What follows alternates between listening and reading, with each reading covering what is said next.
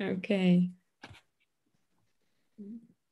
Right. I just wonder, yes, if it's uh, the time to start speaking already. Uh, but let's, yeah, let's hope uh, it is. Uh, and um, hello, everyone. Good evening uh, to those who who is based in in Moscow and uh, some other countries which are closer to Moscow than New York, because New York is somewhere where it's 12 uh, p.m. and I'm absolutely thrilled to welcome Otto von Busch, who has uh, who is joining uh, us today for this session. And. just a few words about the whole event, why we are here, what are we doing here, and uh, I was just uh, telling Otto about our new initiative, uh, the new uh, lab research project, which was just launched by um, uh, the Doctoral School of Art and Design, High School of Economics and uh, Design School, Moscow, Mendit Research Lab. And Otto's talk today is the first public event of our lab. So thank you. And um, I just uh, say a few technical things. Uh, we are here in Zoom together, but and uh, the whole lecture will uh, be held in English. But our um, uh, stream uh, on YouTube cha- channel, which is which is organized by New Literary Observer, our partner in crime, the publisher of Russian Fashion Theory. that stream will be in Russian. So those of you who need desperately to listen to this conversation in, in English, please let us know. Uh, and um, so that's it. Let's start. Uh, and um, um, I would like to introduce our speaker, uh, Dr. Otto von Busch, Associate Professor in Integrated uh, Design um, at Parsons School of Design, New York. Otto, thank you so much for joining us. And uh, Otto is going to talk about, well, patching up, mending practices in design. So, Otto, please, the floor is yours. Oh, well, thank you very much. Thank you. Yes, I thought of I will just share my screen and show some images of some projects and things that I've been working on, um, and um, uh, and then I guess we take questions and things after that. I guess yeah. so. So, all right, I will just. I have sort of put together some small examples of practices that I have been working with and recording in progress. Uh, and you know issues that I have encountered and tried to sort of put my attention to. So so that's what I will be be be sort of talking about. All right, so so just a little background to to me and my practice. So I am I did my PhD in at Gothenburg University in in Sweden, and I finished that in 2008 and I, it was a thesis called Fashionable, and and the idea was to try to look at sort of fashion as a as an operating system of today, and how could it be hacked? Basically, what could we learn from what was then sort of know, new media practices, you know, new media at the time, and now now it's old media. Um, but that um, just a few years later, in 2011, I got hired at Parsons. So uh, I am based at, in, in New York since 10 years, basically at the new school, and Parsons is part of the new school. Um, and um, I sort of in my work, I you know teach general design students, but also fashion students. And to me, it's it's an interesting place to be, Parsons, because it is part of this kind of progressive institution that the new school has been for a long time. Uh, and Parsons is this kind of you know design especially famous for its fashion school. So there's a sort of a tension between a sort of an, you can say, an academic side, which is a little bit more critical and has a, a, a progressive and Marxist history, versus the sort of more capitalist oriented, if you want to say so, school that is very has a very strong position within the fashion field and close uh, connections to the fashion industry. So to me, the interesting part is trying to sort of, you know, what, what are ways to think about fashion in the sort of the tension between these two fields? And being at Parsons is, is you know, it's, it's, it's, a, it's an interesting place to, to, to try this out in that sense. Uh, so what I try to do in a lot of my work is to sort of think twice about what fashion is and how are we to, you know, think about fashion outside of perhaps of the industry. Um, the way that I usually talk to my students is that you know where do you encounter fashion? Where do you encounter the way that the, the realm we call fashion? And most often it is exactly in the media feeds on the phone you know it's in the shopping malls or in the shops. You know so fashion is the way we habitually think about fashion and encounter fashion is through the commodity world or through the medialized world. We don't often talk about fashion as something that we encounter between friends, so between peers, as a way that actually sort of affects us in a sense, you know, that it, it is comfortable and, and a very industry oriented way of looking at what fashion is in that sense, you know. So to me, I, I try to look at how can we challenge this to think differently in a sense of what fashion is. Um, and to me, I, I enjoy these two images from the sartorialist sort of street fashion blog from many years ago, but it captures a little bit this kind of, you know, on the one hand, we have this fantastic fascination we can feel looking at fashion, especially being young, you know, that, that fashion can be this kind of magical world where we can dress up and we can be anyone. And it, you know, and and my my children, when they were younger, they loved to you know dress up for of course you know halloween costumes come now you know uh, because it's season. But in a sense you know pajama day at school or or dressing up in a costume for school was a big event you know something really fun. And but at the same time there is this tension too that that somehow you know we also feel the the pain that is on the image other image you know the, the possibility of humiliation even you know when it comes to clothing. So there's this tension when when we come to to the way that we dress between enormous pleasure and imagination but also an extreme uh, you know possibility of being wounded you know we are told that we shouldn't care about clothes you know and that's often how we grow up that you know oh, you know you shouldn't judge people by the surface and you know at the same time as we know that that is not true you know we are always judged you know and there's something that is deeply personal in that. Um, and and coming back to children you know we love to dress up when we're young but somehow throughout school we all of us most of us end up in sort of you know jeans and a t-shirt or something very normal in the end you know and that is our habitual way of dressing even though we could dress in so many different ways. What is it that makes us so scared in a sense you know and, and feeling that we need to align with what is expected of us in that sense? And so, so, so fashion we can discuss fashion as a commodity we can discuss fashion as an industry but there's also something about fashion as this deep emotional investment that we can have in clothing that we are not always very articulate about you know and how can we how can we think about this and, and find words and the language that speak about this deep engagement that we can also have with fashion. And this has to do with also what we call this kind of democratization of fashion that fashion has gone through over the last decades, you know, where you know what we call fast fashion or cheap and accessible on on trend fashion has been more and more accessible and available to a wider scope of populations across the world because the price point has gone down so much with much more efficient uh, supply chains and production chains. And of course, you know, there's a tension there, but who who has this democratization been for in that sense? You know, for the consumers, well, they can buy more things of different styles than before, but do they have a voice? Can they actually affect the system? Can they hold people responsible? We don't see much of that you know in or is it democratization for designers well designers can pick and choose from more efficient supply chains. But it doesn't necessarily mean that we have a wider scope of styles accessible and a wider sort of design practices that designers are utilizing because it's more open in that sense. You know, most designers still work with a very narrow industry and they're trying to sort of produce on trend for the high street, etc. And of course, it has not been a democratization for the workers, you know, which are you know subject to extreme you know um, uh, abuse in many of these you know along the whole supply chain you know and that can come from anything from the you know unpaid internships in the offices here in new york to of course overseas factories and so on.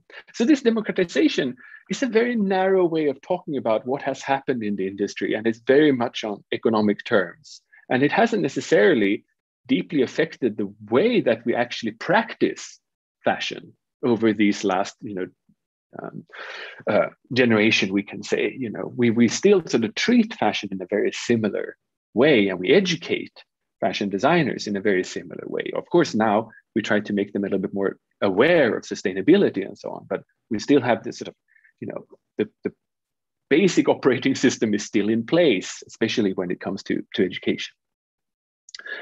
So we can think a little bit like what is it that fashion does with us and does to us, you know? And one way is to think about fashion as, you know, a certain form of attention, you know, that fashion guides our attention in certain ways, you know. And and of course, you know, one way to look at it is is what we perhaps often think that these commodities help us do, and that is to, you know, gain attention and be seen in a favorable light, you know.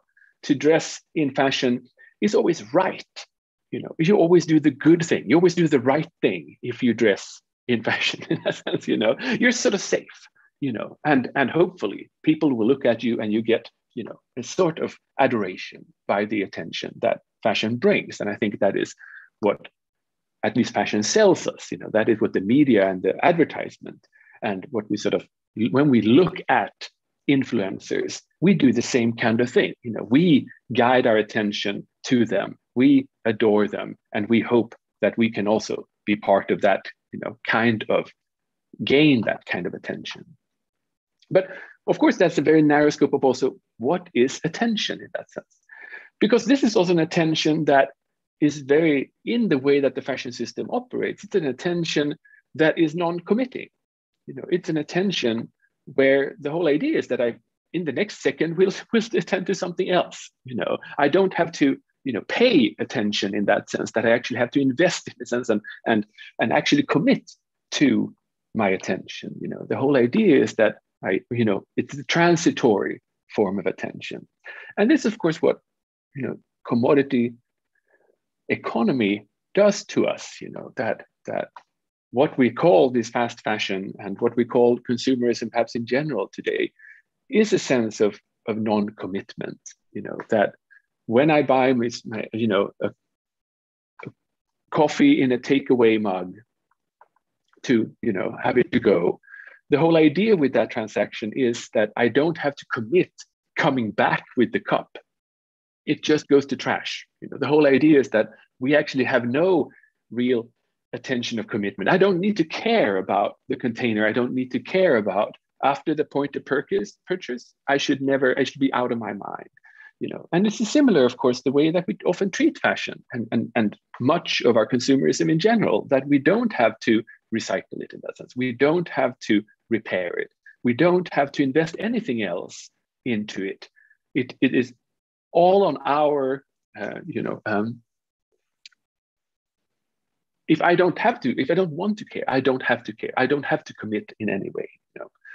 And and we can think about like what that, you know, how that affects us in a more wider scope, you know, because of course we can say that that is a general trend also in how social relationships work too. You know that a lot of the way that social media and the way that we are treating or that these interfaces treat social relationships too is that we don't have to commit to social relations in that sense. We can always ghost out you know. We can always oh send the busy message even though we're not busy etc etc which is also very different than it was perhaps just a generation ago where you didn't know who was calling so you had to take the phone and it was a bit of sort of roulette. It could be someone that was not so nice. Now you can just block them and just take them out of your of your world. So the sense of non-commitment, the sense of what consumerism does to us is not only related to the realm of commodities. It is actually affecting a wider scope of, of our, you know, our mental world too. And it's good just to think about that because if we are going to change the fashion system in that sense, we are facing not only an industry and people's sort of uh, you know values, but ingrained practices, habits that we have grown over the last generation, we can say, of non-commitment. You know that that we have to sort of turn a quite big ship as we are going to turn towards more sustainable practices, and we need to to be aware that that there's, there's much going on here. So we can think of also, you know, attention that is not about adoration, then, you know, an adoration or, or attention that wants to look at someone to influence us, wants to look at someone to, you know, to feel that we are seen and acknowledged. We can also think that attention is a form of care. You know, it is a commitment, you know, that we have to do to pay attention to something. To that means that we sort of, you know, we block out a little bit of the world in order to focus on something that we care about, you know, that we put our attention, invest our intention into. Uh, at the same time, it, it is worrying, and perhaps you also, you know, it's especially apparent in English language how much of an economic language we use when it comes to attention. You know, and again, you know, we pay attention, we invest in care, etc. You know, so it's also that we just also need to be aware that there's a lot of of how an economic way of thinking affects a lot of the terminology that we use when we want to also address these issues. So that we need to you know just be careful there in the sense of, of what we are trying to to do. And is it possible to you know to balance this economic language of investment and paying and so on with much more uh, attentive types of, of language? These are repair kits from my grandmother's that I collected through, um, uh, you know, my relationship with them. Um, and it, there are things that have carried, you know, been along my journey for a long time, but they also, you know, are a way for me to to think about, you know, how much they put attention to things and how much to them they put, you know, uh, attention to care in that sense. And of course, you know, they grew up or, or were, you know, lived through both of the of the world wars in Finland and and Sweden and Germany. And exactly, my grandfather was was born in St. Petersburg, but you know, so they they sort of you know lived through a life that was very different than this type of of uh, you know consumer society we live in today. But I still think there's an interest you know in the way that these tools are sort of made and were present in ways that that put attention to family and put attention to the lasting of you know, making things last. And we'll come back to that. So, so to me, it's the interesting part here is in the sense of when we talk about sort of patching up and when we talk about repairs and uh, you know apply this to, to clothing, we're actually talking about something that is in a sense much larger. You know, it is on a material level. Yes, we are sewing and patching up things, but we are also actually trying to sort of handle attention that consumerism, the sort of democratization of consumerism, and the change in our you know, basic value systems and habits that are you know, being present at the tip of the needle and the thread that we're working with. You know. So I will just show some examples of work that I have engaged with and, and initiated that has to do with you know, questions of repair and how to sort of think about perhaps ways we could work with clothing and fashion in other ways than what we see in this sort of, you know, the consumers society and the way that fashion sort of habitually operates with us. You know. And this was a project I did together with students at London College Fashion um, in 2012, perhaps it was? No, earlier, nine, 10, there around something, um, which is called Community Repair. And the basic starting point of this of this project was the idea that perhaps we could think differently what repair does. That not necessarily thinking that when I repair an object, I'm trying to re you know move it backwards in time to a state before it was damaged you know that perhaps i can think of repair as something that i'm adding something else to the process you know i'm adding something so the repair itself becomes a vehicle to do more than just repair the immediate sort of garment and the damage on a certain garment. So, in this sense, the idea was to sort of open the repair process to a community to also try to sort of connect the community with the process of, of repair. So, could we use garments as vehicles or in a sense of as, as you know, uh, hooks that we tie up society and our community with in that sense? And the basic starting point of this project uh, that I did with the students was that they had to start with a garment that needed some sort of mending or repair or alteration that they had in their wardrobe. And the question was then, you know, how could they engage their community, their local community within their their local post, you know, zip code. We use the postal code as the area that they would work with. What could they find there as a resource that could help them repair the garment? Because they were not allowed to do it themselves. Someone else had to do the repair for them. But they had to barter with them to give something back to this person for the repair in that sense. And the repair had to leave some sort of trace onto the garment that they were working with. You know, so the whole idea was that the the community that they formed, in a sense, would actually leave traces in the garment, and they would actually then sort of carry their community in the repair that they had made. Um, and Emily Towers was one of the students, and uh, so she actually broke for the first rule because she said, "I cannot do it within my zip code." I was, you know, she was commuting uh, back and forth in the weekends to her parents in Paris, if I remember it right. So she was on the Eurostar train, but she said that that's a great opportunity to perhaps engage people there in the, on the train. Well, I a way on a train. So what she did was that she engaged the community and started talking to people there, how they could help out her to alter and, and repair this this hood, the, the the the jacket that she was having and then she also talked to a, a local sort of um, community center where she was living that also you know donated some of the fabrics and so on if i remember it right.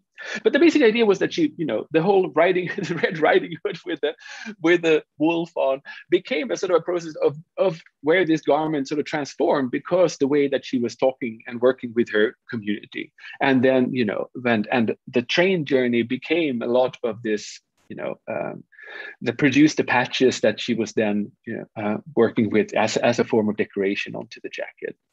So in a sense, I mean, of course, you can say that, well, you know, perhaps this is a bit overambitious. Most probably it was not so damaged, you know, as needing this much repair. But at the same time, you know, it the, the jacket became something much, much more in a sense than now just repaired in that sense you know so have the patch from the elbow in a sense perhaps you know grow up into something much much larger Bennett Lütke was a, another student who had a community center around the corner where there were some uh, elder ladies that did a, were part of a hat making workshop where they transformed various types of garments into hats and, and also you know felted hats and so on. Um, so he brought his father's shirt there, an old shirt of his father's, and uh, that they transformed into two hats, if I remember right.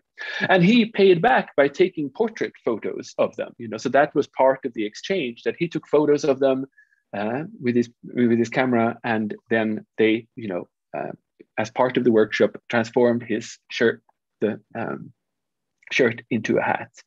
So also here again, you know, the, the idea was that something, you know, there was also a barter of skill exchange in that sense. You know, he was a better photographer than perhaps they were. And he could sort of, you know, that skill that he had could actually then be sort of actualized in a community that perhaps otherwise would not have had that opportunity. But at the same time, you know, they, since there were no money exchanged either, you know, there was this kind of, you know, something happened beyond what we usually pay for and what, what we consider something worth.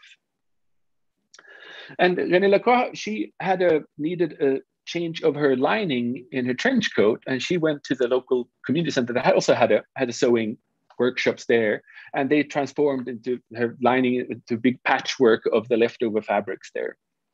And so what what they did such a nice work so she could also wear it inside out. There were various, you know, they took this very seriously.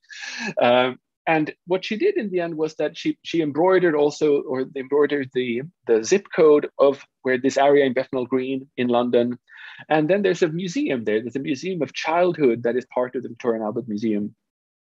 Um, so she had it exhibited in the entrance and then had an auction for the coat where then people could bid on the coat and all the money went back to the to the community center where people had been doing the repair in that sense you know so this sort of jacket took a long sort of detour in that sense in the sense of you know what was added to it and where did the money go and where was it exhibited and who can exhibit things in the local museum and so on you know so many parts were activated here with a garment in that and that needed uh, repair you know? of course these are all you know, these are all very ambitious in that sense. You know, it doesn't need to be this complicated.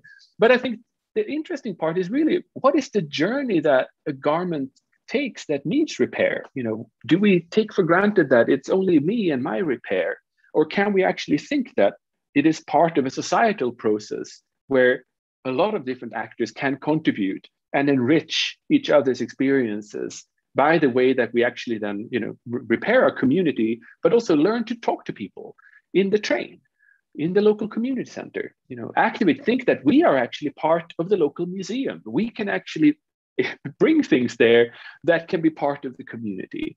So the way that we can sort of think of repair is not exactly that it's sort of a, a secluded practice that only concerns me and my garment and the previous state that I'm after, but we can actually sort of open the process to engage with society and processes that we want to see more of in society, perhaps, you know, and use our garments as an excuse. And some of the students were very much, this hasn't to do anything to do with fashion, you know, whereas others were a little bit more, well, you know, wow, could could this be part of a repair service system? You know, could this be part of what the brand tries to do in a sense that it really tries to curate these kind of journeys as part of what a brand does, rather than just sort of sell ready to wear garments off the hanger at the at, at in the store. So so you know we can have different approaches to what this could imply, but this kind of repair was something that I found fascinating and working more with. So um, I worked in another kind of project called uh, which I call refugee Ref uh, restoration at the Green Gulch Zen monastery when I was invited to do a small lecture at CCA in, in San Francisco. And this is just, you know, an hour's trip north of San Francisco. Um, and I had read uh, about this center before. I mean, it's it's uh, it's uh, one of the sort of the classic 60s um, um, Zen centers of, of American Buddhism. Uh, but I was fascinated, especially by the sort of the Buddhist tradition of the rakusu. So the rakusu is after you take your uh, uh, your sort of vows uh, within Buddhist faith, you make a rakusu as a sort of uh, it's a, almost like a little bib that you carry around the neck, but it's sort of a, a, a show of your faith, if you want to say so. And traditionally, it's made out of 30 small pieces. And sort of the legend says that it represents the Buddha's garment that was made out of you know, patchworks that he put together of garment or, or fabrics that were left at the pyres after they had burned uh, corpses of dead people. The leftover fabric was what he took the lowest of the fabrics in order to produce his own garments.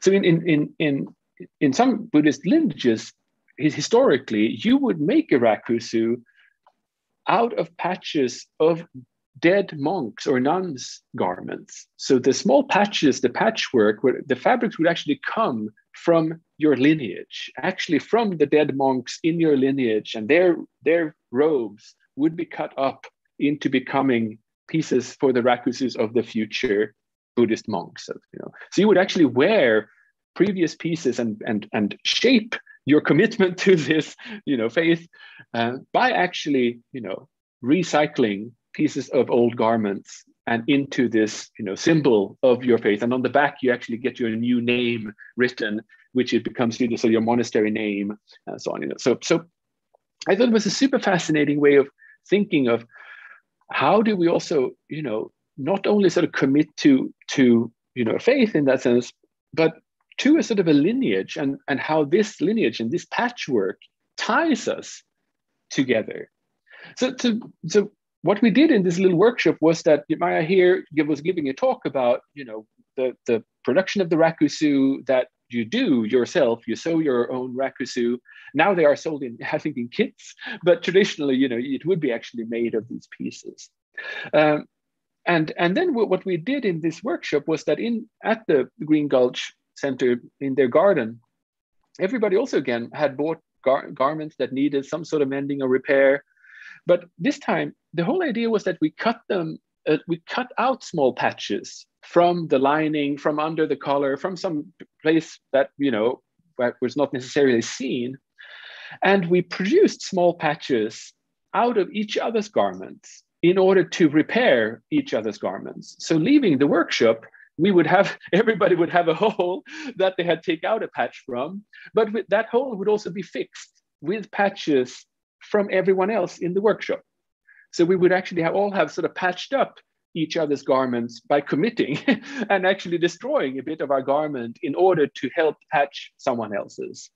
Of course, you can say that this was a little bit contrived, you know, that, that you know, uh, you know, forcing everyone to actually do this.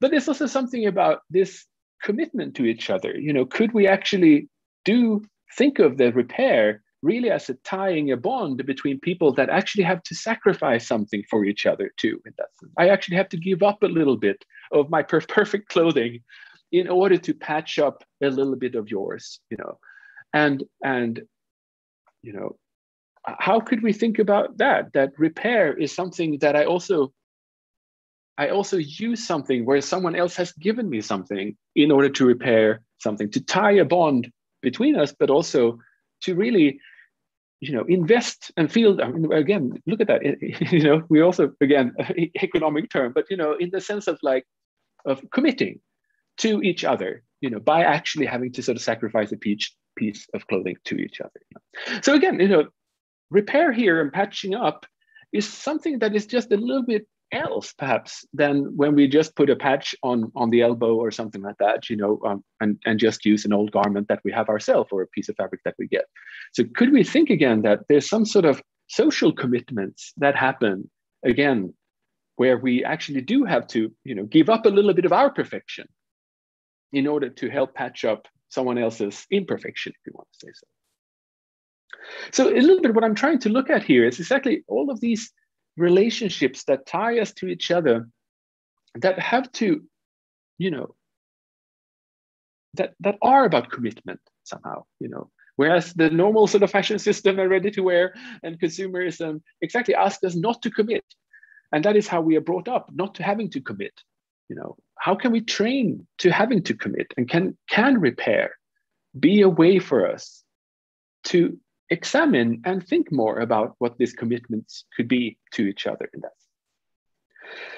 Uh, and then sort of finally, this sort of brought into to thinking more about, you know, well, what could, what could we sort of learn from from religious approaches, you know, and this kind of almost mysticism that happens in a sort of a deeper engagement with the world, with matter, with belief system, and our values. And I thought it was fascinating that so many of my students sort of treat fashion uh, or the way that we sort of brought up to think about fashion is a little bit like fashion is this big thing external to us. Fashion happens in Paris, in the offices in London, in you know some design studio in New York, in, in the Vogue office or something like that. Fashion happens at this kind of you know cathedrals in these you know fashion is always bigger than ourselves. It's always out there. It's always you know as something glorious, powerful.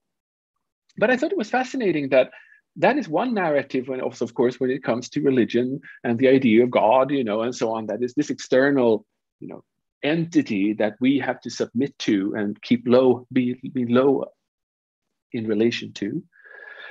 But of course there's also within you know if you take christian mysticism and, and so on there's also this emphasis emphasis on you know the woundedness in that sense you know that christ is born you know in a in a stable you know as a little child that needs care. You know there's a lot of woundedness.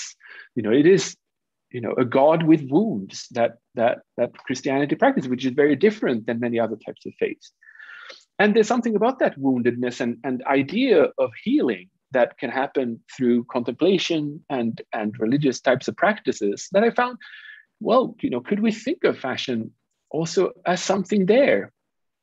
Again, if we think of fashion as sort of the attention and adoration, if we think of fashion as a conflict that, you know, I need to look better than others, I need to look, you know, you know, that, that there's a lack of attention in the world and we need to claim it. Of course, this is something very different. You know, here instead, perhaps what we talk about is, is fashion as a form of, you know, vulnerability, that I actually open myself up to being judged. You know, I actually dare to do something in order to to uh, you know put myself out there in that sense.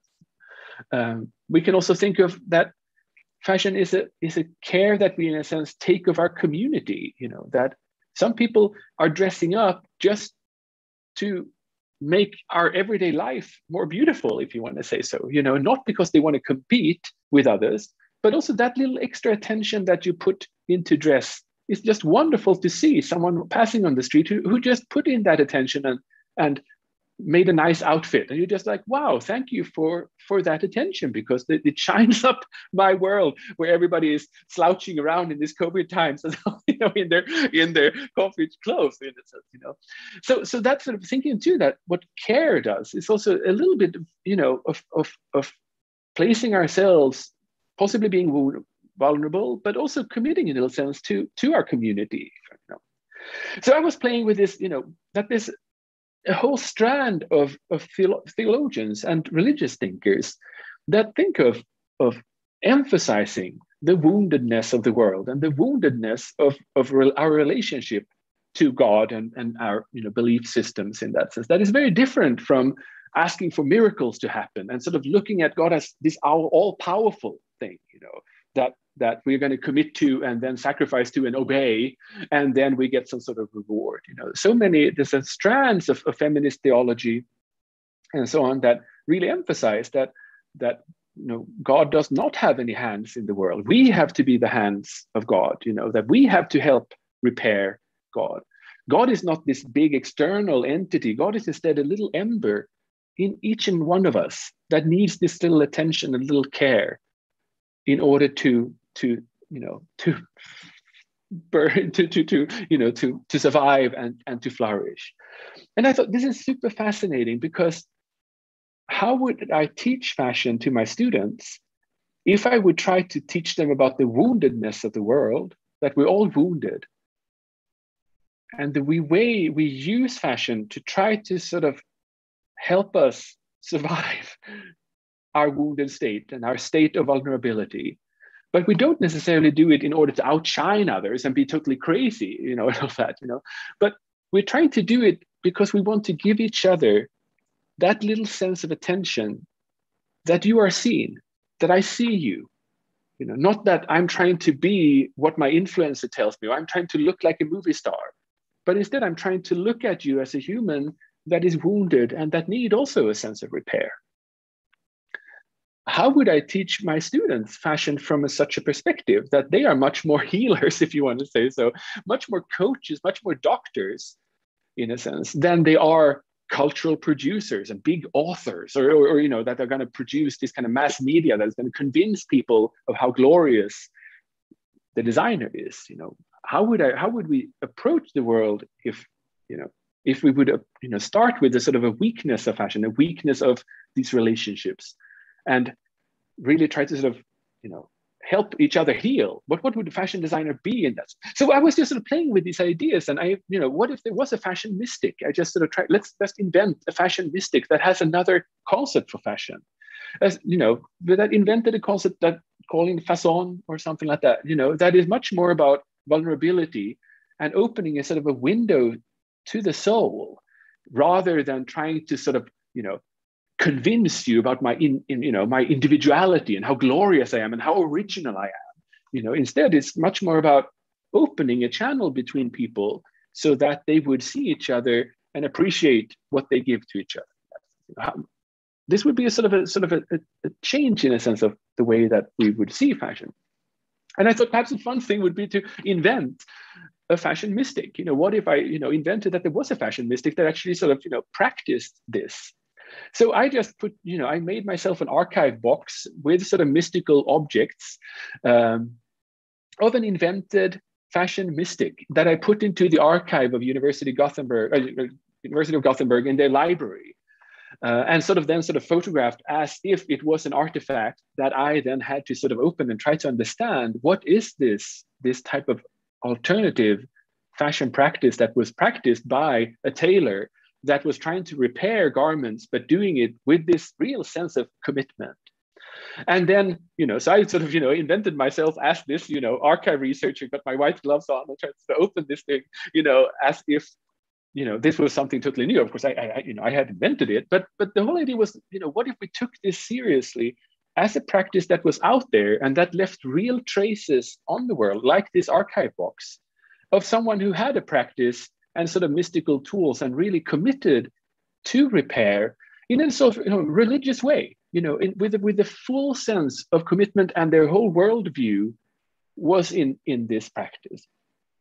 Of course, there's also traditions of this. You know, there is a you know a strand of Christian mysticism, everything from Jakob Böhme, who was a, a cobbler, to um, um, I mean a series of Swedish also um, mystics that were tailors and you know that, that were actually having you know the, they were not in monasteries. They were you know lay people you know doing about their daily work as as you know as as citizens but also as craftspeople you know. So exactly Böhme was a was a cobbler you know so they also worked with fashion in that sense. And i thought that was a super fascinating uh, connection here you know.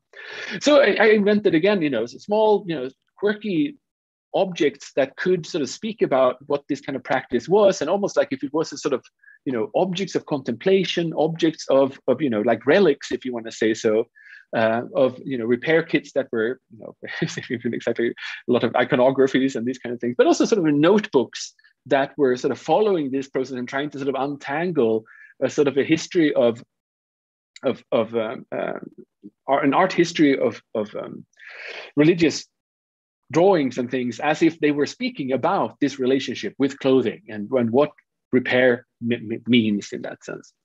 So also producing the sort of you know notes and so on that I then also put into this box, and it became a little sort of self-published book where I tried to put myself in the role of having discovered this, even though of course it's all my own writing, but having this you know second perspective on it, where I invent this person that was a repair you know mystic that then sort of speak about and and and what this Gillis girl does is sort of writing small aphorisms too about you know how could we really thought think you know so so in a, in a, in a similar ways of Augustinus and other types of, of of religious writers too you know what are sort of short concise sort of almost poems that the the mystic would write in order to start to to to capture in language this relationship where fashion on one hand tries to be this overwhelming uh, practice of, of adoration exactly and and and commit and, and sorry not commit but but um,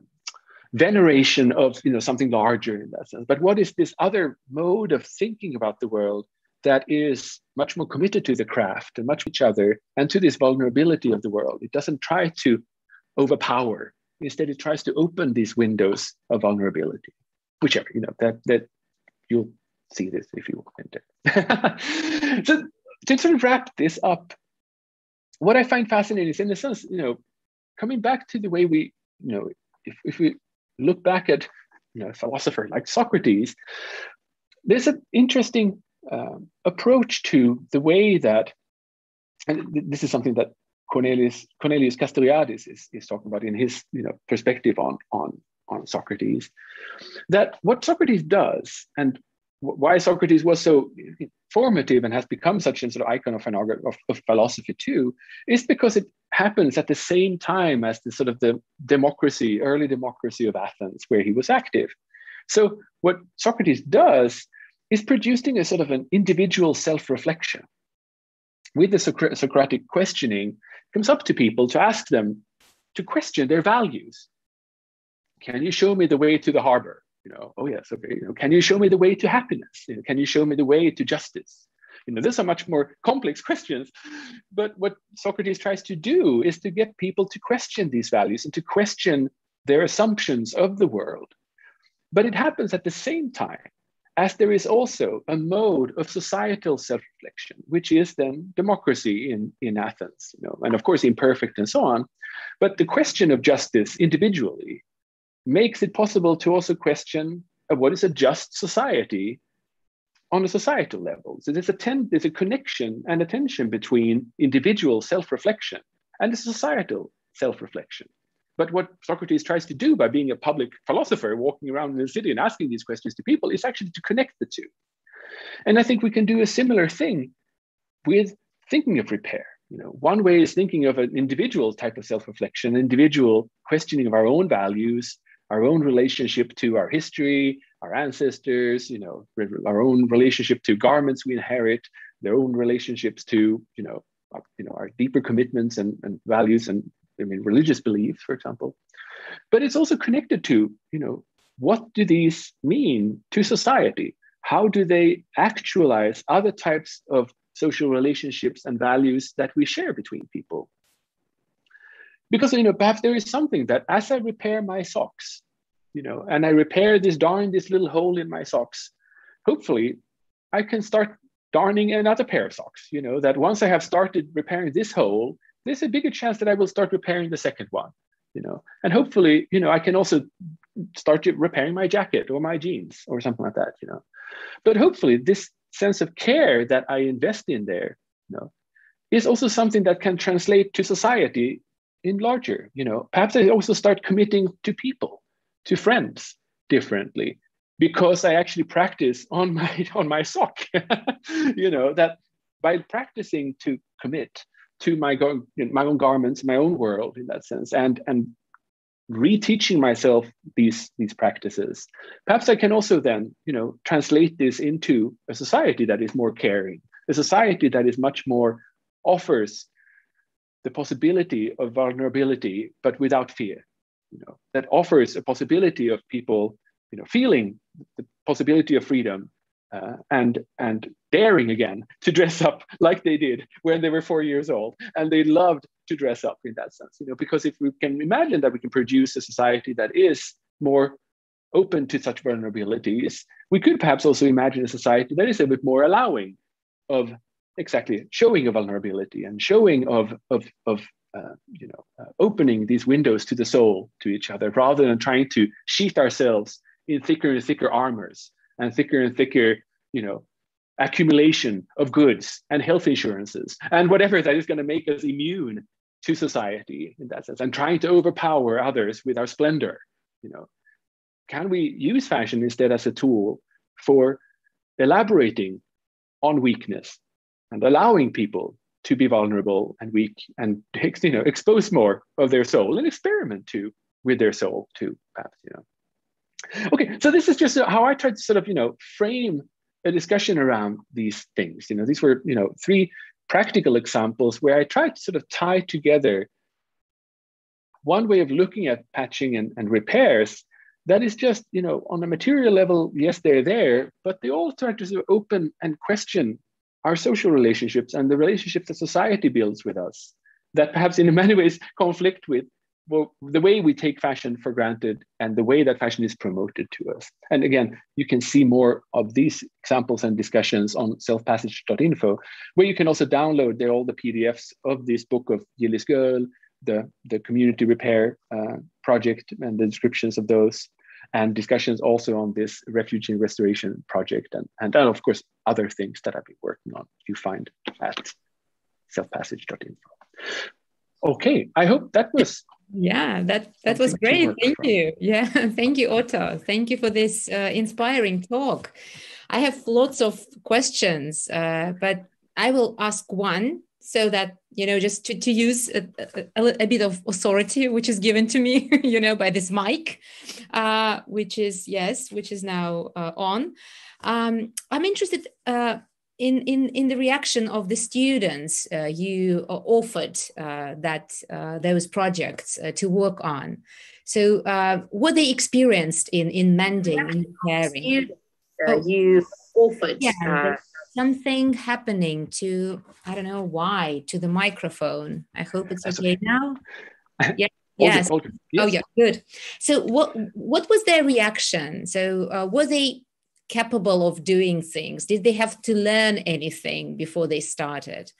Uh, so could you just say a few things about that? Yes, of course. I mean, uh, so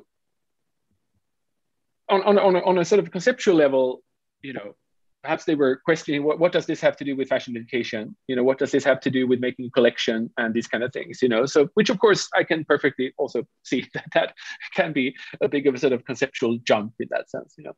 Um, i think also of, of course there was also a struggle with the, the skills themselves you know that just this kind of small hand darning and and such techniques are not something that we practice very much you know? To it, it may feel a little bit um, you know, perhaps if you look at the images, you know, seen, I mean, uh, you know, on repairs out there in the world, you know, on Japanese mending techniques, they have this beautiful, you know, where every every stitch is equally long and they're all in straight, perfect lines, and you know, and it's, it's, it's, super hard to get that through several layers of fabric, you know. So so of course there was those kind of of, of challenges, but I think again, you know, perhaps the the main conceptual challenge was to to overcome this idea that that you old you use old stuff. And the whole idea is that it's old stuff that is remaining old you know? It's not even a form of upcycling that you're doing. I think to many students a little bit of a disappointment in that sense that it, it felt like they were you know um,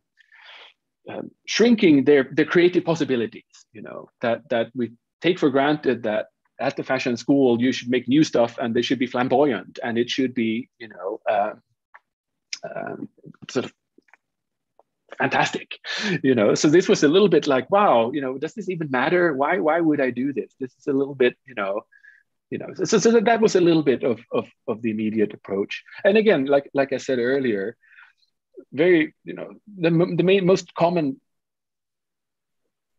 comment was about like what does this have to do with the industry? What does this have to do with the way that i will actually work in the industry that we don't do this is not happening in the industry. Why, sh- why should we? You know this is art. You know this has nothing to do with industry. So that that was what it, perhaps the main obstacle if you want to say so that that i encountered. How did you how did you how did you respond to this? Uh how yeah.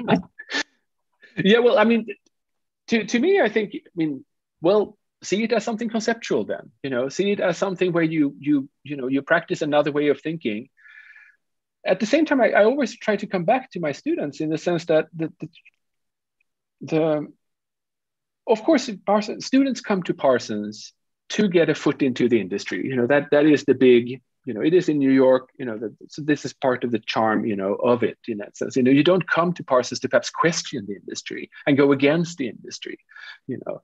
So so um, the students are really aimed at the industry in that sense. So, so by saying that the industry should be not be there or something, you know, is is not very you know helpful to them. They made me feel. Um, at the same time, you know, the struggle is that it, it, happens in so many other design disciplines too. Is that you know the majority, the 95 percent of the students are fighting for 5% of the jobs. You know, they all want to get into Dior or, you know, some, some of these amazing fashion houses that they read all about. And that is, you know, filling the media uh, feeds to them, you know. But there's all these other ways of being a fashion designer that nobody really wants to go exploring or so few Uh-oh. want to go exploring. And so, so to me, I think the challenge here really is, you know, how, how, how, how do we see the fashion industry and the fashion sector as so much more than what we see on the catwalk. You know, what are so many other types of practices we can do, and we can practice fashion in so many other ways than just feeding the current sort of funnel of ready-to-wear cheap fashion in that. Or, or you know, of course, students want to go to the to the, the fancy fashion houses in that sense. But there's so many other ways of being a fashion designer. You know, that perhaps we can practice fashion in much more community engaged ways. Perhaps we can fashion, practice fashion much more closer to, to you know, the sector of healing, if that is the sector of like spiritual types of healing, to also like you know, in, when I go to see my my psychologist, perhaps I should be so you know, if I'm going to to you know, um, um, which other form of sort of coaching in that sense, and, and ways of actually shaping and feeling that I have an agency to shape my life that is perhaps where fashion designers should be offering their services you know so just like we have this whole sector of lifestyle coaches stylists you know of, of people that are working on a much more uh, sort of a deeper level than just commodities if you want to say so that's perhaps where fashion designers also could be working so that's a little bit how i try to sort of get my students to think about this that that perhaps this repair that they're doing here is a way of thinking of a wider scope of where mm-hmm. fashion practices happens in society and what fashion designers can do and contribute to society more than the very narrow sector of, of commerce that mm-hmm. where it is now. Yeah, thank you. And just following that, uh, Olga Gurova is with us on YouTube. And uh, yes, she, she, says hi. And in our chat, you can see her questions. Uh, how would you redefine fashion if we shift our focus from the grand narratives of fashion capitals, fashion houses, and toward more humble and empathic narratives of affect, uh, vulnerability? Yeah, I mean, Uh, so, so what I play with in this in this little book is I, I try to call it another name, you know, by calling it Fason. I mean, perhaps I should have had a you know a name that is is just somewhat much more radically different. The tricky part in general here that I feel I'm sort of running up against the whole time is that the way that I mean we have a very imprecise language around fashion in general. And this is something that I think fashion theory and fashion scholars in general and fashion scientists suffer from that when we talk about fashion, most often we talk about the industry. You know, we talk about it as you know what is in the stores. At the same time as as it's itself the concept has all these tensions within it. You know that it's it is the new the newest fashion at the same time as it's not so new that it's, it's too groundbreaking you know it is actually in mass production so it's not totally unique you know so and, and at the same time you know we, we talk about fashion as exactly what is in trend right now, even though it is recurring from you know earlier styles and so on. So so within the concept of self of fashion, we talk about a lot of different things.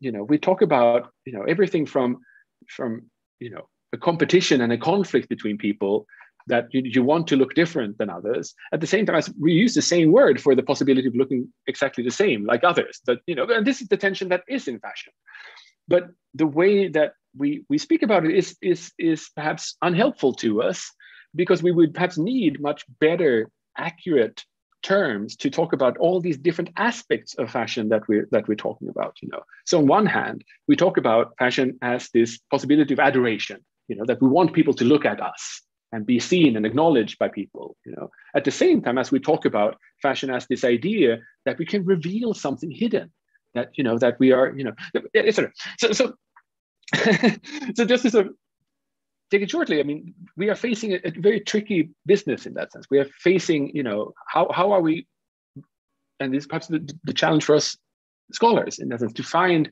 better words, better terms to point at all these parts of fashion. It's not that we should take away the concept of fashion because it's such, you know, it, it is you know a, a, a, fantastic term to put a very living practice of life there you know.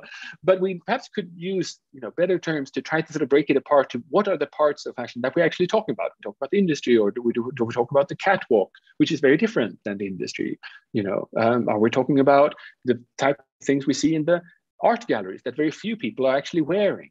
You know, or we're talking about the very everyday practice, the type of barren fashion that we all mostly end up in, which is basically then just a hoodie and something that we wear in our everyday life, which of course is part of the current look, but it's not fashion. Eh, whatever. So you see, there's, there's so many things in that whole realm that we should take apart in order to, to better know what we're talking about and perhaps point to what aspects we're talking about in, in, in fashion. Mm-hmm. But that didn't really answer the question. But I'm sorry. That was just about you know trying to sort of challenge one understanding that is so dominant where we almost all the time, and especially at fashion school, we talk about fashion and we only talk about the industry. And we need to be better at taking this apart and talk about many types of fashion and invent languages that speak about what all these small worlds are. You know, that, that's my short, shorter answer. Uh, yeah, and actually, there is a continuation uh, to that question. Why, why do you actually need uh, this shift to uh, other Im- empathic type of narratives uh, today? So, why, why do you think it's happening uh, these days? I mean, a, a central part to me is of course the, the, the, big challenge of sustainability. The big challenge that the, that the fashion system faces is that it, you know, uh, public awareness is arising, arising of the, the, the, the, enormous costs that the current fashion paradigm has. You know, so there's an urgency in trying to fix fashion somehow and make it more sustainable.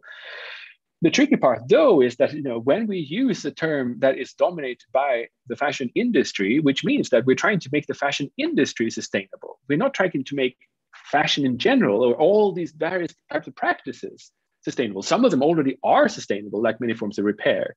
Other types of you know, um, inheriting clothes and so on. You know, there's many practices in fashion that is already fairly sustainable. You know, it's one part that we talk about all the time, which is the current fashion system and making this type of habitual consumption uh, more sustainable, which leads us also to certain kinds of solutions. Okay, so we talk about, oh, you know, a little bit more eco cotton, a little bit more, la, la, la, you know, but we're restricting the whole discussion to just sustaining the industry, whereas we could empower and make more interesting this whole other realm of fashion practices that are out there, which are exactly, you know, repair, inheriting, you know, various types of sharing and all these kind of things, you know.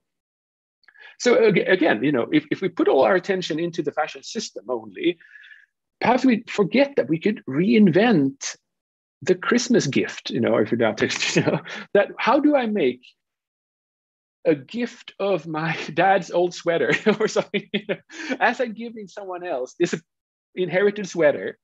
But what is the ritual that makes that meaningful? What is the ritual that makes that garment feel charged with these values that the fashion industry thrives on you know in popularity. All this there's so much glam and glitter around the fashion industry. How can we sort of feel what are ways of doing that when it comes to sharing when it comes to gift giving and inheriting when it comes to repairs when it comes to all these other fashion practices that are already sustainable what if we put our you know our attention to those and try to figure out ways in which we can take some of the energy that comes from the current system into these practices to re-enliven them revive them in ways that make us still feel fresh and new and that my life is full of poss- possibilities and that i have the possibility of someone seeing me or whatever you know all these things that are otherwise so rich in the industry can that also become you know as as sort of glamorous if you want to say so with these other types of practices that are already sustainable? So how can we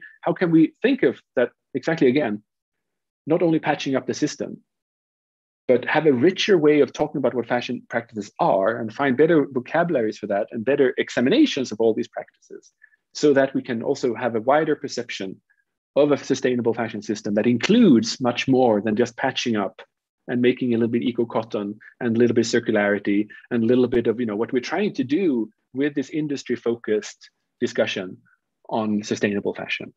Mm-hmm. okay that was again a long answer to, to but i think the urgency is exactly here that we have we're facing this enormous change. And with all the, the current reports and all these things just lead us to patching up the industry. And we almost like forget all these other practices that we could try to and live in and make much more interesting and, and use our creative and cultural creds, if you want to say so, to make much more thriving and much more vibrant, you know. Mm. And yes, okay, so, so I hope that. Thank you. Uh, let's, yeah, just see if there are any questions or comments here. Uh, questions, comments, some ideas. One okay. question at least. Oh, oh yes. I have I, I, have a few, but yeah, Irina. Oh, but here's yeah. Okay, please.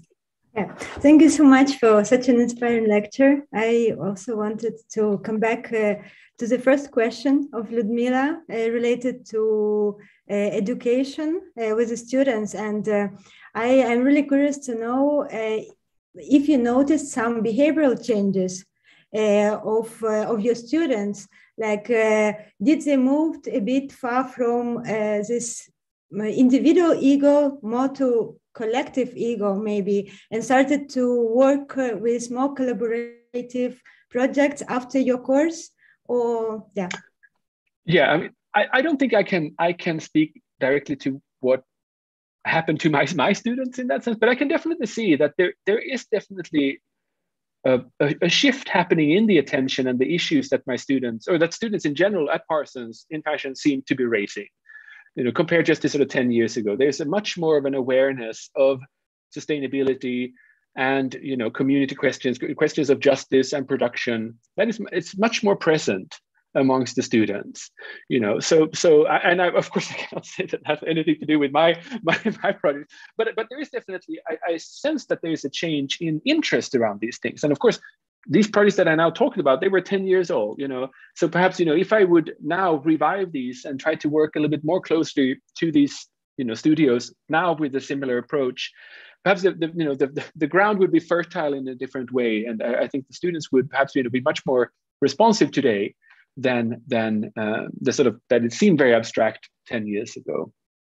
So so there's definitely you know i i cannot exactly to say that that this is something that that came out of my project but i, I can sense that you know there, there is another climate now to discuss and and uh, and put attention to to these issues. And just to continue this question about uh, mm, you know students uh, Lisa uh, asks if if those who worked on mending uh, projects did they wear those clothes? Or was it was it was a clothes actually which you mended? Yeah. Yes yes and and and this is a tricky question you know this is a tricky question when it comes to all kind of upcycling and recycling and these kind of things too like do people actually wear these things? It's fun to do you know but are we really thinking that people are going to wear these things? Of course you know repairs are you know there's a certain there's certain groups of people that get away with that you know that we have to see that you know uh, it's a similar way of, of you know making your own clothes or making clothes for my child. You know if i do that today it's it, you know if, if, if a child shows up at daycare in homemade clothes it shows that there's a family that can put enough attention has the time to do this you know because it's so much cheaper to to buy it on a second hand whichever you know. So it actually shows not necessarily that you're poor, but the opposite, that you are rich enough to actually do this. So repair means something else, and showing repair means something else today than perhaps before. Similarly, also, you know, we can see that, you know, being an academic and going to art school in repaired clothes that's oh that's quirky auto cool you know whereas of course you know if i am going to uh, you know a job that is very and, and i may have come from a poor background and trying to dress myself up you know, then of course, I, you know, having showing visible mending and repairs is not necessarily supported and feel safe for me. You know, so we definitely need to be very aware of we, who is the audience that can pull this off, and who who is the audience that can then perhaps be the trendsetters to allow others in order to to to show up in this way. And that's of course, if you see what I'm saying, you know that that we cannot take for granted that everybody can wear these repaired garments and and so on uh, again, you know, and, and there's also a question here about, you know, you know, um,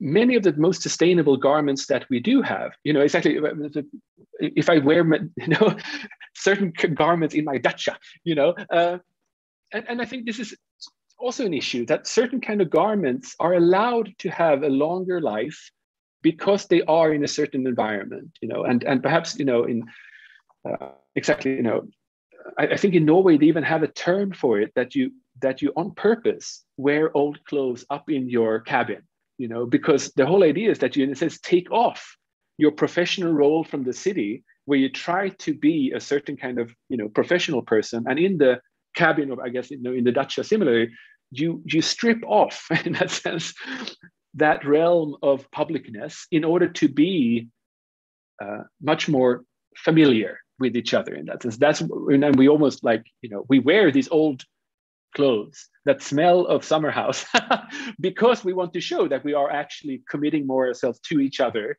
and we actually take away the struggles and perhaps the conflicts in the sense that we could have out in, in public life so again these are also two different realms you know that on one hand we can say that perhaps we connect fashion as the term to this urban life you know whereas we have you know another type of clothing situation and clothing relationships that happen in the dacha that's with repairs and all these kind of things. You know, so so we actually, you know, have very different dressing practices in different spaces.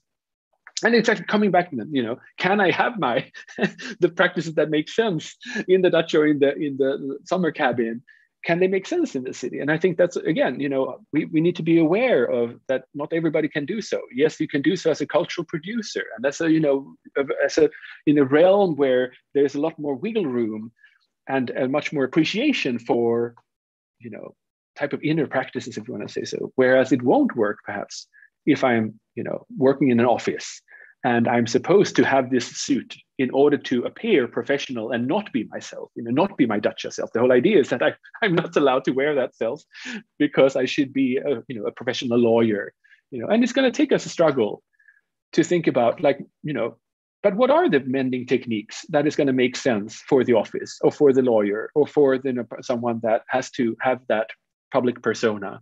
You know, what is the sort of the fashion practices that we can think of there? Uh, what, how would that repair service look like? If it's going to be a repair service that prolongs the life of a suit versus prolongs the life of you know of the theater producer's sweater you know and it's very different types of repairs perhaps you know and we need to be aware that these are different realms and and and have their own codes. Uh, it, yeah so so um, yeah and and i do wear a lot of repairs yes but they extent i mean i can do that as a teacher you know i can do that as you know it can be a statement coming to parsons where a lot of my students are, you know, uh, can dress in, can afford to dress in ways that I can not afford, you know, uh, it, so it becomes a little bit of a statement in coming also in repaired and sort of, you know, sort of fighting back a little bit uh, in, and coming there in my, in my repaired pieces. So, so yes, all right. Fantastic. Uh, yeah, and I, I, have actually a question about um, something you said when you spoke about fashion and mending and repairing. You uh, repeated a few times uh, the word survival. I'm sorry, my dog is coming, wants to say something, I guess. Uh, survival. And uh, it seems like uh, very often uh, fashion is about resistance. And uh, it made me think about uh, the recent lockdowns, you know, when people started to actually take care a little bit more about the things they had and they started probably to think about mending. Do you think this, these are connected? the the pandemic experience and uh, the, the, the fact that we really started to think more about the clothes and maybe the in, in, uh, you know empathy which Olga asked about uh, has somehow been increased. Uh, this kind of need for em empathy uh, increased uh, due to COVID times. I yeah, and I in, in one way yes, I, I can you know I think the sort of the lockdown, uh, you know, helped us be introvert in many ways, in a sense, you know, and and rethink what we do and what we wear and how and do we really need all these all these things that we committed, you know, that we before took for granted to do. Um, at the same time, I guess it's also, you know, a sense of um, uh, perhaps also, I mean, as, as much as there is an, a, a sense of of um, um a possibility of being introvert and, and question our values. You know, I think there's also a, you know, um, an appreciation for what we had, if you want to say so too. You know, that perhaps people will, oh, I really want to buy more stuff, you know, because I've been locked up, not buying things. You know, I really want to go out and see people and see myself being seen by people, etc. You know, that there may also be that aspect of it. You know, but of course, no, hopefully, you know, we have had some space to think and you know take a step back in order to sort of see where we were before you know because you know when we're in it we don't think about it. You know at the same time you know i think in the beginning of the pandemic and in the lockdown there was a lot more hope about that now was the time to really question a lot of consumption and a lot of you know these things that we took for granted. And and I, my response to that has, has has been in the sense that you know so a, lot of religious practices again you know they use fasting. Fasting as a way to to be conscious about to bring back attention to ourselves and our world and our, our situation in that sense you know. Uh, and and fasting can be a pathway towards sort of enlightenment or you know a, a more you know uh, uh, um, uh, enlightened relationship to oneself in that sense you know. But starvation does not you know when you don't choose to do it it's not your choice. That doesn't produce endless enlightened people you know so if there's a famine it doesn't just sort of produce a population of enlightened buddhas walking around in the neighborhoods you know no you know so there's a there's a difference between the self-imposed reflection that we could do in the pandemic in that sense you know and versus the one that is sort of imposed by the condition of the pandemic. You know i don't think we should confuse the two because i think you know, um, um, yes, as much as we have had the possibility of, of looking at our consumption, I think it also we also realize that as society opens up, you know, the the the tensions have not disappeared. You know, the way that people have, you know, expect me to look at this law office or something that has just not changed. That suddenly I can show up in this repaired, you know, I can show up in law office with my sweater or something like that. You know, that has not necessarily changed. You know, so so on one hand, yes, it, it offers us some possibility but the conditions in society, as society opens up again, has not necessarily made it feasible for us to change our practices. If, if I want to, you know, if I'm a little bit more skeptical about the possibilities of that. Yeah, I see. Well, yes, uh, this is yeah. I, th- I think this this uh, question is still open. Uh, what? Yes, well, of course, cer- certainly so. You know, and and uh, but at the same time, you know, I, I think there is a possibility of of how do we as designers offer the possibility of fasting, if you want to say so, to our customers in that sense, and help them guide guide them through that process rather than feel starved. Mm-hmm. You know, how do they turn their starvation, if you want to say so, into a journey that leads them somewhere else? So similarly, how can we think about sustainability? If you want to implement sustainability to people and make people more sustainable, you cannot necessarily perhaps you know perhaps the best option is not to just strip them of the opportunities to to buy things but to lead them and handhold them onto a journey of another type of self-discovery than what the store offers us today in that sense you know that and when i encounter when i go to the store to discover myself i discover myself by buying stuff that i put on myself that someone else has told me looks great on me you know whereas if i'm actually you know if i could practice sustainably with clothing, it could be much more of a journey towards self discovery that I take throughout different steps that we as designers could help people could help provide for people in that sense. You know, we could there's endless of things we could learn from there in that sense of like how could garments rather than patch up myself my bad self-esteem you know actually grow my self-esteem? You know what would be ways of practicing fashion in that way? You know that it is you know the a path to self-discovery rather than every new season give me new garments in that sense you know that i should be wearing because i feel so bad about myself that i need to buy something new in order to feel better about myself. Yeah, yeah. that's a little bit like you know how the fashion industry operates right now. You know that you know as fashion designers if i'm going to survive i need to be your sugar daddy. I need to make you addicted to my stuff otherwise you won't come back and buy my stuff. You know so i need you know i need to make you feel just good enough about yourself momentarily. But then soon enough you're going to feel bad about yourself again so you come back and buy my stuff. You know so so I, I, you know we operate fashion operates in a very sad cycle in that sense and can we as designers try to sort of push this in another direction that yeah. exactly could be more sustainable but also perhaps hopefully you know also richer more meaningful yeah. Or would they prefer just to feed the same beast? Oh yes of course. I mean and and th- th- there's a tension there and, and it's not that we're going to you know find the answer overnight but but um, uh, I, I, you know hopefully you know part of these kind of repairs part of this with the patching up the things that you know hopefully we find in this forum too mm-hmm. are ways to take these questions seriously and really try to figure out ways to be different fashion designers you know and and and find ways to enrich that palette of options that we can be fashion designers rather than only the only option is to be the sort of the market oriented current market oriented uh, producer of more ready to wear goods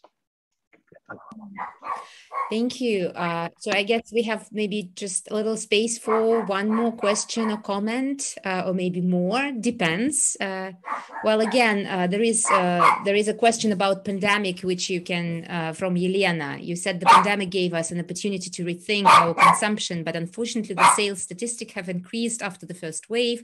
What do you think if some kind of technology for the restoration of nature appears, the tendency to mending will go away?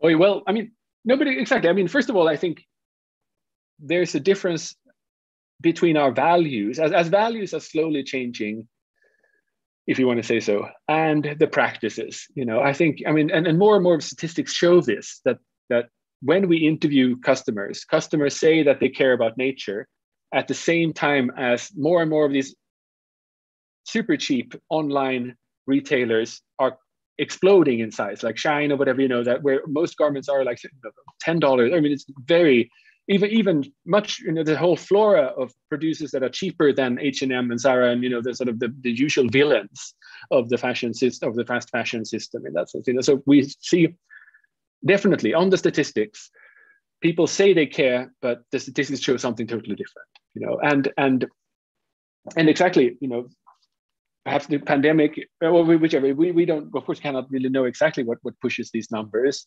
Uh, but i would think that that we you know what we say and what we think is very different from our actual practices in that sense. You know we live in this hypocrisy that that that you know that we are part of you know. We know we should perhaps be vegan but very few of us are etc etc you know. So that that etc um, and we may think that i mean we, we there is it is certainly hopeful that there are more technologies out there that help us do things uh, and that is a, you know, everything from smarter fibers and you know compostable things to you know more you know ways of thinking about circularity and you know uh, different types of, of circulation of goods in that sense. Um, and of course, you know, there's been a lot of discussions of blockchains and things, you know, various types of technologies that could help us see more and have a more transparent uh, production chains and supply chains and so on. Um, and in my perspective, that is amazing. You know, that's great. There's fashion designers that work with this, and I leave it to them. I think I think it's amazing. Go for it. You know, I, I am more interested in the ways we can make fashion more meaningful, the way we can u- make our engagement with clothing richer and more sensorially uh, explorative, and that it can be a much much more of a journey towards something more and something else than what the current system offers in that sense you know. So so as much as i'm hopeful that well perhaps they, there are technological fixes and they can you know aggregate into something fascinating it's not really where where my my attention is you know. I am much more interested in exactly you know what other ways can we be practicing fashion and fashion design in ways that can be a richer, more meaningful practice to us, you know, and and there's so much more, so much there that has to be unexplored. So I just feel like, whoa, there's a whole, you know, I have a, I have a lifetime of exploration to do there because exactly that there's there's uh, uh, of course, it, it, but it does get more busy. You know, there there are more people that are that, that are trying, mean, that are doing things there. So this it's, it's very exciting that that there's more happening there and that there's more practices that we could learn from uh, that that we could exchange ideas from and so on. So yes, yes. Hey, thank you, uh, thank you, Otto. Uh, questions? Well, thank you guys, and good luck mending. I. Yeah, well, yeah, that's that's that, that's that's actually tricky because you know I I don't have experience in in making things, and I really feel uh, rather helpless uh, doing the things because we have this you know some of uh, the some of the members of our club uh, are practitioners so they're very good at it but those who are not yes uh, but you know at the same time yeah it just feels uh, probably uh, just uh, the way the way we do it. I mean uh, the i mean the very uh, way we look from the outside could be hilarious so that people actually have fun you know while mending and seeing us yes. So again this is also somehow building the community in a very weird way yeah and i think i mean my art teacher always said like you know when you start drawing you should not be scared of the white page you know so always you can start with a little knot or just draw the first line or whatever you know just to sort of get started because the white page can be sort of overwhelming you know? And uh, i always think of it similarly like you know perhaps you just have to you know we have to also help people to take that first step of mending a sock or whatever it is. And we did this little when I did a lecture together with Pascale Gatzen in in in Arnhem, we just you know so so what we did was that on each seat where people showed up, we had put a little needle and thread and little red thread and in a little card, you know, so everybody got that as they came for the talk. And then in the little break we made in the middle of the lecture, we just asked people to to turn towards their their the person sitting to the right of them and and sew this little red thread into their garments and just leave it hanging, you know, but just, you know, so that everybody would carry at this little event this little red thread on their garment, you know, and they could choose where they wanted it on the, you know, wherever they wanted this little red thread hanging, you know, and they could easily take it off when you know if they later of course you know but at this moment at this time you know everybody had this little red thread on it as a little community sign you know and and of course you know the, the the beautiful part in the sense with mending is that it can be undone you know it can be very often unpicked again you know? And i think a lot is also just getting you know what what is the, that first little step the first little patch the first little just a little thread hanging somewhere just to sort of show that you're having that little opening and have made that little mark at least you know? So we just you know have what is this kind of we need to overcome in this as the pristineness that so much of fashion sells us this you know perfection that that um, and and allow us also to feel that we can have this little agency of just adding that little red thread you know to to our things just to sort of feel how it is to actually have put that little mark on our world you know. And you can also perhaps do it in the lining on your jacket or whatever if you feel that it's a bit sort of scary. But um yeah we oh, very very yeah very interesting idea. Yes we should think of something like that uh, I like it. So, Next time on Zoom, everybody would have a little thread hanging. yeah, yeah, exactly. Yeah, good idea. Wow. So uh, even even though everyone has questions or comments, I'm sure they they do. But I I just we need to yes let you go and uh, yes thank you so much for for this fantastic uh, talk for for this uh, generous and inspiring conversation, and uh, you know just uh, gave us this perspective that um, somehow mending can help patch up uh, the social fabric somehow. Well that's that's great. And uh, well yeah thank you thank you Otto for yes for being with us. Well thank you for having me. And, maybe, not the last time. Let's hope not the last no, no, no. time. Yeah? Okay. Okay yeah. Thanks a lot. Well, thank you. Thank you so much everyone. Thank you Bye. And I just want to say to everyone who is following us on uh, the, the YouTube channel that this is uh, actually the beginning of our public program, and Mendit Lab is going to continue and have a series of conversations open to everyone. So please mend because we definitely can mend it. Okay. Okay, yeah, I just uh, Thank hope. You. Thank you. Yeah. Bye. Take Bye. Take care. Have a lovely day.